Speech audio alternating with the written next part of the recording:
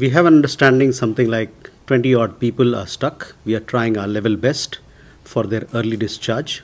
Uh, we have issued two statements which you saw. We've also told people not to uh, venture in the war zone or get in, get caught into uh, situations which are difficult. Uh, so that is where it is. We are trying our best, and we are in touch, regular touch with Russian authorities, both here in New Delhi and also in Mos- Moscow. And we are seeing, uh, we are trying to do our best. We are deeply committed uh, for the welfare of all our Indians.